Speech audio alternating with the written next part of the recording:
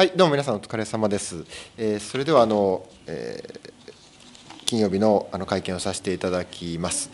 あの私の方からは政治資金規正法の改正に関わって政治改革の特別委員会がえこの間開かれておりますので、まあその状況を踏まえてあの若干コメントしたいと思います。でまずあの何といってもこの一番の焦点、一番の柱と据えるべき企業団体献金の禁止の問題が、まあ、自民案にないということが大きな理由ですけれども、そこがあの焦点に座らない議論になっているということが、えー大問題だと思います。まあ、要するにこれはもう自民党が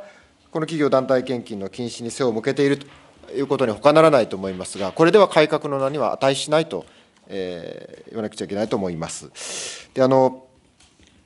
この点に関しては、各党から質疑があり、えー我が党の塩川哲也議員も、政治を買収する賄賂だと、参政権の侵害に当たるということを指摘していますが、まあ、この間、岸田首相も、また自民党のこの法案の発議者も、政策決定が歪められた実態はないんだと、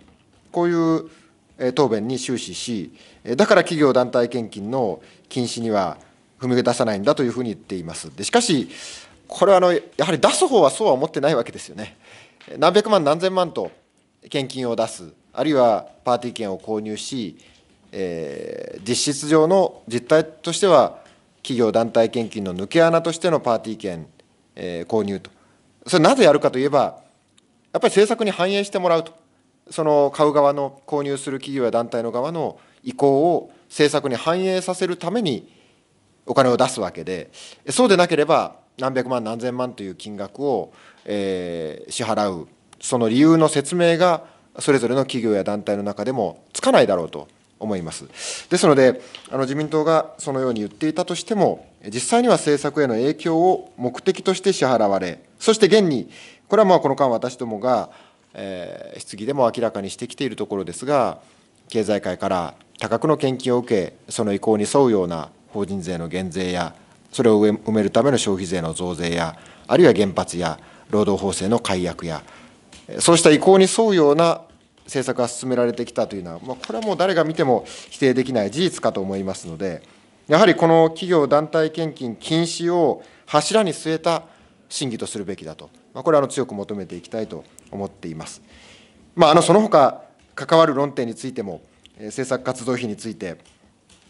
えー公開になじまないものもあるんだと、公開し、領収書を明らかにすれば、さまざまな不都合が生じるということもおっしゃっていますが、これはあの明らかにすれば困るような使い方をしていると、えやましい使い方をしているんだと、えー認めるようなものかと思います。それからパーティー券購入の公開基準の引き下げという問題もありますが、20万円超から10万円超に引き下げるのは、まあ、切りがよく分かりやすいからだと。いう答弁が飛び出していますが、まあ、切りがよく分かりやすいという意味では、企業や団体が買うのをゼロにすると、禁止するということこそ、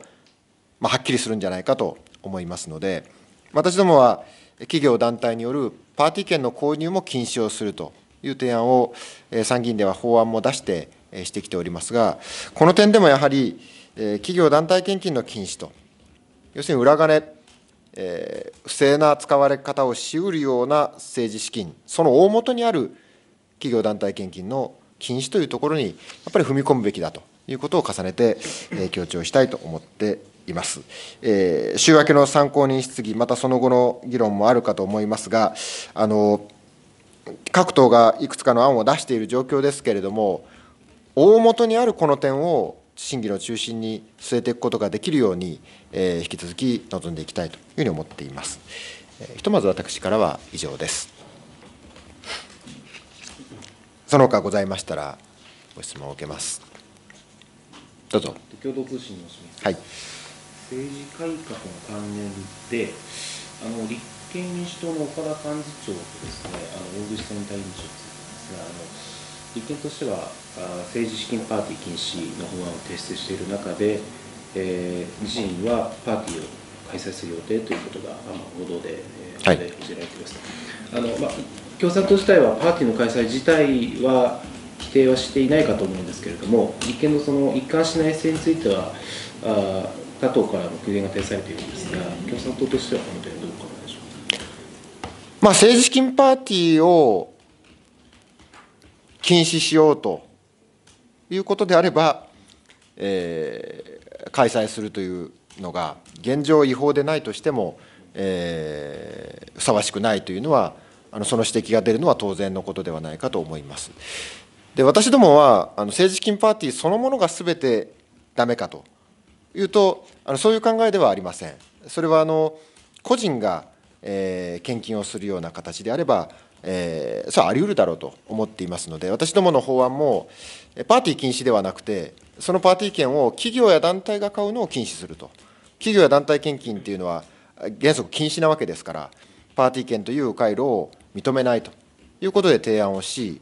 ですから個人がパーティーに参加して、えー、パーティー券を買ったり、えー、するのはですね、買うのは、まあ、これは寄付だと、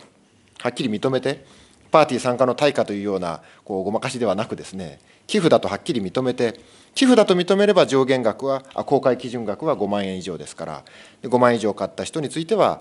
公開してくださいと、まあ、こういうあの提案をしてきています。ですから、まあ、私どもとそのパーティーそのものについての、えー、立場が少し違いますけれども、そうした形で、例えばその個人の、えー、参加者から、え、寄付を受けると。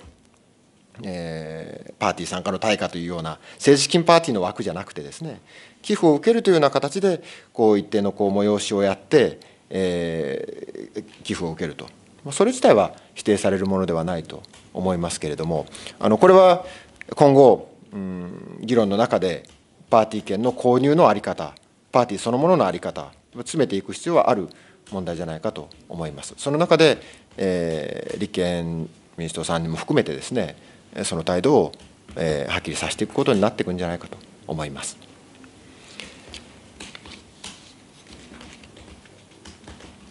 はい。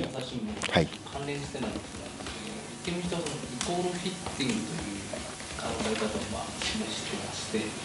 要はその全員が辞めるんだったら辞めますというようなところのスタンスなんですがこのスタンス自体はどう評価するんでし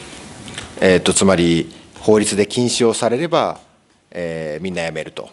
で禁止されてないので、えー、自分たちはやるんだと。まあそれ自体は私どもがこう なんか評価をするべき立場にはないように思いますけれどもつまり今その現行法の下で違法なことをやろうとしてるんじゃないんだと。そして全体が違法になるんだったらそれはやらないと。まず、あ、当たり前のことといえば当たり前のことですよね。ですが、まあ、あのそういう意味では私どもはそういうやり方はやってないわけです。えー、今時点でも政治資金パーティーを開いて資金を集めるというそういうやり方はしておりません。ですから今禁止されていようがいまいがですね、えー、そのような集め方をしないという選択は取りうるものではないかと思いますのであのみんながやめなければ、えー、できないということではあのないという、えー、現実があるということは言えると思います。はいどうぞ。NHK の森田です。はい、特別委員会の方に戻りまして、はい、昨日今日と衆議院であの審議質疑が行われたわけですが、まあ、週明けには参考人質疑があって、まあ、早ければ来週にも通過という声も聞こえてくるわけですけれども、この間、えー、と2日間、議論が深まったという感じになりますでしょうか、この審議のスピードについてご意見をお願いします。はい、あの拙速に進めるべきではない問題だろうと思います。あのいい案であれば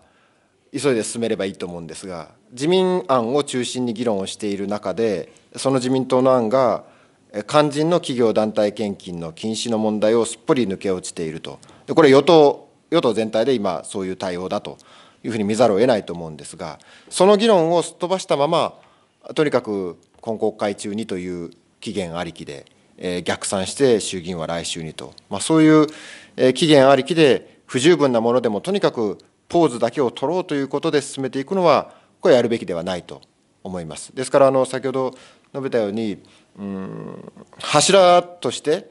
企業団体献金の禁止の問題は、やっぱ据えていっていただく必要があると思いますし、あのこれは先日の小池書局長の質疑の中でも、えいつもこの問題で政府、総理が出してくる最高裁判決ですね、八幡製鉄の最高裁判決が、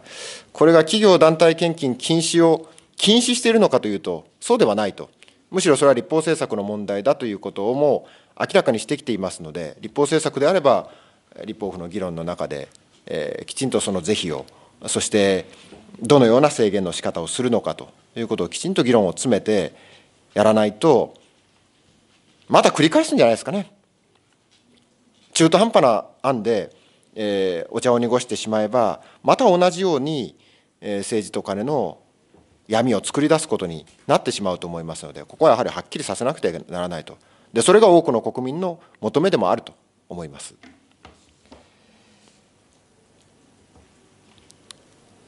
その他いかがでしょうか？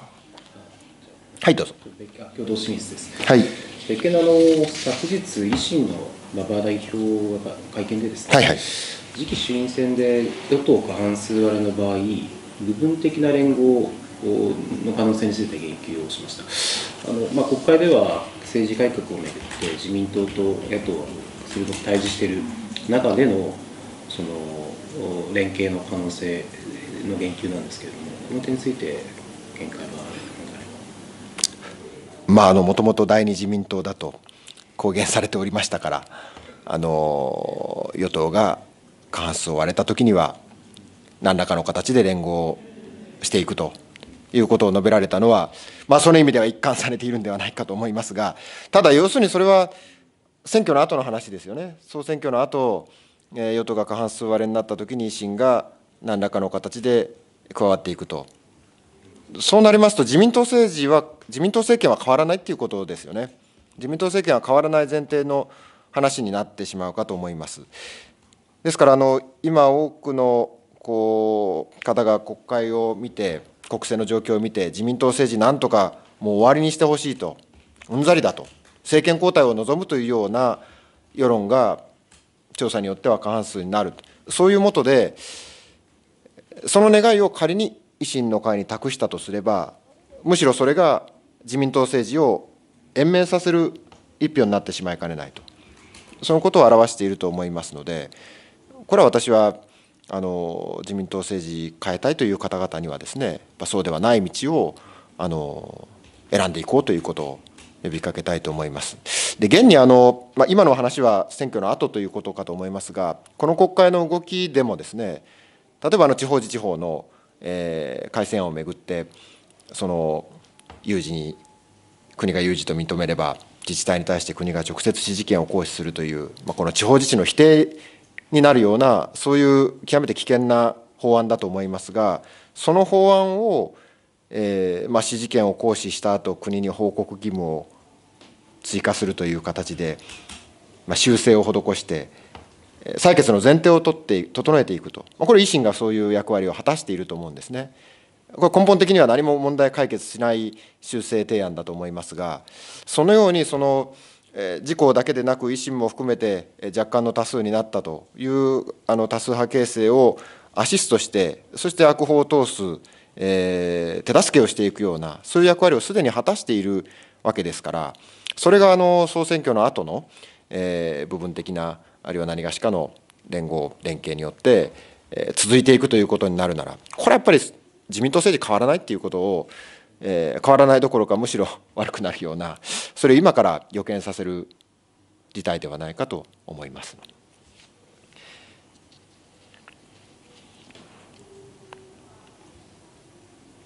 その他いかがでしょうか？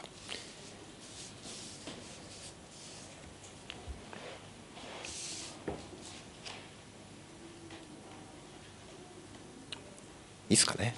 はい。じゃこれで会見の方をはい。皆さんどうもお疲れ様でした。はい。ではまた引き続きよろしくお願いします。